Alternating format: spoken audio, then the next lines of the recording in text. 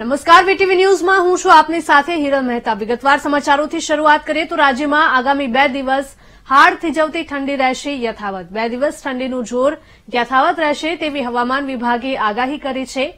હિમાલયના બર્ફીલા પવનથી ગુજરાતમાં કડકડતી ઠંડી થશે.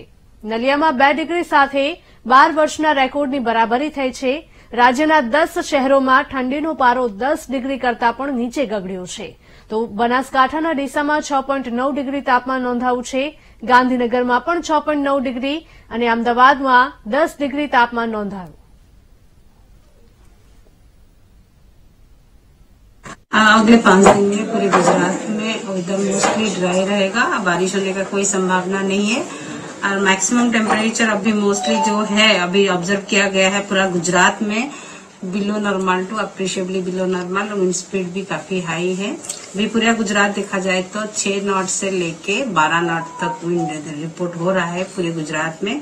विंड काफ़ी स्ट्रांग है, उसकी इसके कारण से ठंड महसूस हो रहा है। इवन मिनिमम टेम्परेचर भी अभी mostly normal to below normal है और लोएस्ट टेम्परेचर रिकॉर्ड किया गया है टू डिग्री सेल्सियस नलिया में। अहमदाबाद में टेन डिग्री सेल्सियस रिपोर्ट किया गया है। गांधीनगर में nine point four degree Celsius record किया गया है। अभी अगले पाँच दिन में टेम्परेचर देखा जाए तो नॉर्दर्न पार्ट ऑफ़ गुजरात में 24 फोर आवर्स के लिए नो लार्ज चेंज रहेगा टेम्परेचर का। मोस्टली टेम्परेचर जैसे नाइट टेम्परेचर अभी प्रिवेल हो रहा है, ऐसे ही रहेगा।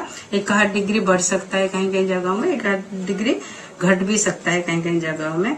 लेकिन साउथ गुजरात में आज से टेम्परेचर नाइट टेम्परेचर बढ़ने का संभावना है।